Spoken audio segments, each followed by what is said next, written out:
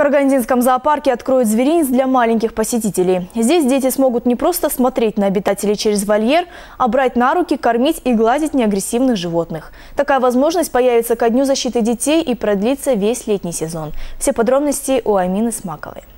Ну, то есть все бывшее СНГ Это малыш краснокнижного муфлона. Он появился на свет несколько недель назад. Со зверьком, его ровесниками верблюжатами пони, а также другими неагрессивными маленькими животными уже к 1 июня смогут пообщаться самые маленькие карагандинцы.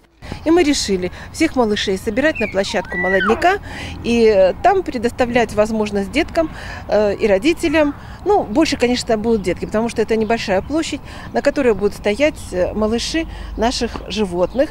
Практически во всех странах мира существуют подобные детские зоопарки. Карагандинский питомник решил не отставать. Отдельная площадка простоит возле центрального входа все лето. Чтобы стать ближе к питомцам, нужно будет заплатить 100 тенге. За эти деньги ребенок сможет погладить пони, кроликов, утят, цыплят, а также дрессированную серебристую крысу. К тому же можно будет покормить обезьянку прямо из рук фруктами или овощами, а также подержать в руках питона. Амина Смакова, Тульген Раштов, Марат Култенов, Первый Карагандинский.